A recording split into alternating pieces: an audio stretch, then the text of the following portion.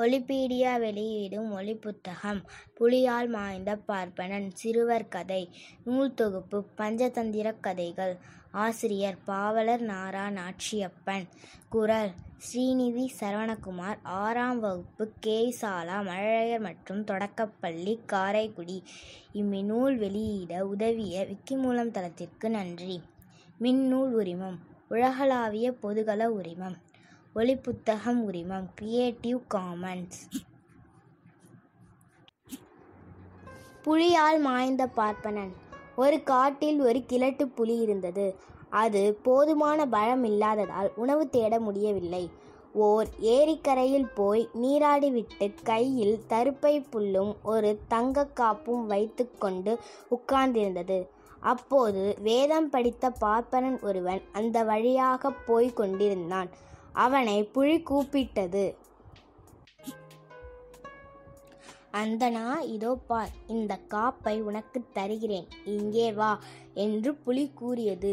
தங்க காப்பை கண்டவுடன் பார்ப்பனனுக்கு ஆசை உண்டாகிவிட்டது ஆனால் புலியின் அருகில் செல்லவும் பயமாயிருந்தது. புலியாரே நீர் மிகவும் கொடியவராயிற்றே மனிதர்களை கொன்று தின்பதே உமது தொழிலாயிற்றே. அதை விட்டுவிட்டு எப்போது தானம் செய்ய கிளம்பினீர்? என்று தூரத்தில் நின்று கொண்டே பார்ப்பனன் கேட்டான். அதற்கு அந்த புலி ஏ பார்ப்பனனே என்னை பார். நானோ கிழப்புழி ஆகிவிட்டேன். எனக்கு பல்லும் இல்லை நகமும் இல்லை. பாவம் செய்வதை விட்டுவிட்டு இப்போது தானம் செய்ய புண்ணியம் தேட ஆசை கொண்டு விட்டேன்.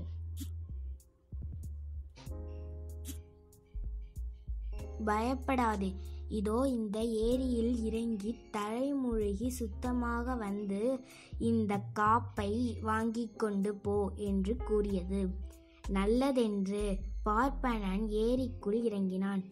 ஏரி ஒரே சேரும் சகதியுமாக இருந்தது. சேற்றில் கால்கள் அழுத்தி சிக்கிக் கொண்டான் பார்ப்பனன். என்ன செய்வதென்று தெரியாமல் அவன் திகைத்து கொண்டிருந்தான்.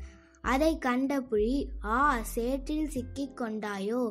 இதோ நான் உன்னை வெளியில் எடுத்து விடுகிறேன் என்று சொல்லி அவன் மீது பாய்ந்தது. தன் முன்னங்காலால் அவனை அரைத்து கொன்றது. அவனுடைய இரத்தத்தை குடித்து அது பசியாற்றிக் கொண்டது. முன் யோசனை இல்லாமல் கண்டவற்றில் ஆசை கொள்வது ஆபத்தையே உண்டாக்கும். ஒலிபீடியா வெளியிடும் ஒலிப்புத்தகம். வஞ்சகநரி சிறுவர் கதை நூல் தொகுப்பு பஞ்சதந்திர கதைகள். ஆசிரியர் பாவலர் நாராநாச்சியப்பன் குரல் பிரஜன் சரவணகுமார் எட்டாம் வகுப்பு. ராமநாதன் செட்டியார் நகராட்சி உயர்நிலைப்பள்ளி காரைக்குடி.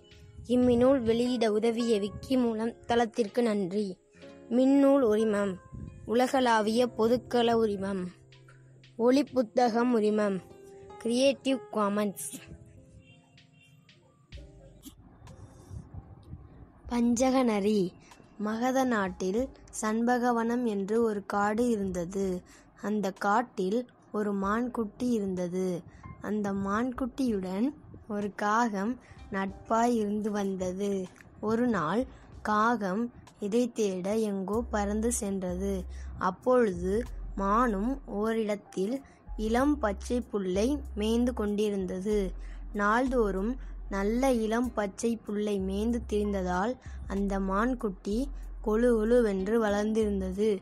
புல்மேய்ந்து கொண்டிருந்த அந்த மான்குட்டியின் உடலை கண்ட ஒரு நரி அதை கொன்று தின்ன வேண்டும் என்று ஆசை கொண்டது. அந்த அழகான மான்குட்டியை கண்டவுடனே அதன் நாக்கில் எச்சில் ஊறியது. மானை கொன்று தின்ன ஒரு தந்திரம் செய்தது. மானின் அருகிலே போய் என் நண்பா நலம்தானே என்று பேச்சைத் தொடங்கியது. நீ யார்? உன்னை நான் இதற்கு முன் பார்த்ததாகவே நினைவில் இல்லையே. நீயோ என்னை தெரிந்தவன் போல் பேசுகிறாயே என்று மான் அந்த நரியை கேட்டது. மானே நானும் இந்த காட்டில்தான் வாழ்கிறேன். ஆனால் நான் ஒரு பாவி. எனக்கு உறவினர் யாரும் கிடையாது. தன்னந்தனியாக ஒரு துணையும் இல்லாமல் வீண் வாழ்வில் வாழ்ந்து கொண்டிருக்கிறேன் என்று உன்னை கண்ட பிறகுதான் என் மனத்தில் மகிழ்ச்சி தோன்றியது. உனக்கு வேண்டிய உதவிகளை செய்து கொண்டு உன்னிடமே இருந்துவிட முடிவு செய்து விட்டேன் என்னிடம் நீ இரக்கங்காட்டி அன்பாக நடந்து கொள்ள வேண்டுகிறேன் என்று நரி பதிலளித்தது. நரியின் தந்திரமான பேச்சை கேட்டு அந்த களங்கமில்லாத சின்ன மான்குட்டி மயங்கிவிட்டது. அது கூறியதெல்லாம் உண்மை என்று எண்ணி அதை தன் நண்பனாக ஏற்றுக்கொண்டு விட்டது. இரண்டும் ஒன்றாகச் சேர்ந்து சண்பக மரத்தின் அடியில் போய் இருந்தன. சிறிது நேரம் கழித்து அங்கு வந்து சேர்ந்த காகம் மான்குட்டியை பார்த்து மானே உன்னிடம் புதிதாக வந்து தங்கியிருப்பவன் யார்? யார்? என்று கேட்டது.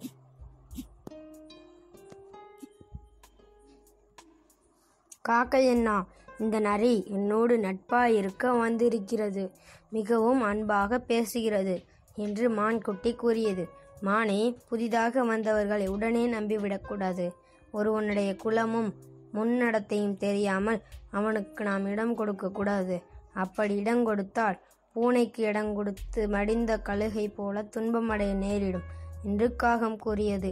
அதை கேட்ட நரி காகத்தை பார்த்து ஏ காகமே நீ நட்பு செய்யும் முன்பு உன்னுடைய குணம் என்னவென்று அறி அறிந்தா இது நட்பு கொண்டது?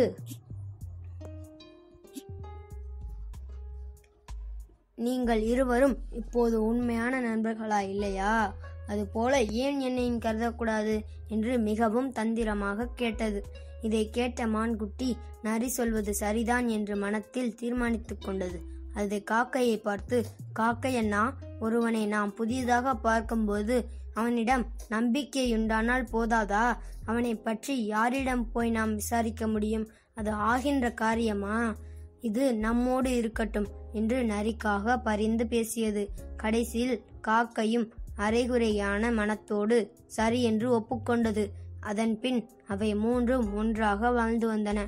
ஒரு நாள் நரி மான்குட்டியை பார்த்து ஓரிடத்தில் அருமையான பயிர் பச்சை பசேல் என்று வளர்ந்திருக்கிறது. வா உன்னை அங்கே அழைத்துச் செல்கிறேன் என்று கூப்பிட்டது. மான் அதன் கூட போய் நன்றாக வளர்ந்திருந்த அந்த பயிரை மேய்ந்து பசி போக்கிக் கொண்டது. நாள்தோறும் அந்த பயிர் கொள்ளைக்குப் போய் மான் மேய்ந்து வரத் தொடங்கியது. தான் விதைத்து வளர்த்த பயிர் அழிந்து வருவதைக் கண்ட கொள்ளைக்காரன் தன் பயிர் கொள்ளையில் வலை வைத்திருந்தான். வழக்கம் போல் மேயப்போன மான் அந்த வலையில் சிக்கிக் கொண்டது. என் உயிருக்குயிரான காகமோ நரியோ வந்தாலொழிய என்னால் பிழைக்க முடியாதே? என்று தயிரில் சுத்தும் மத்தை போல் மான்குட்டி மனத்துயரத்தோடு துடித்து கொண்டிருந்தது.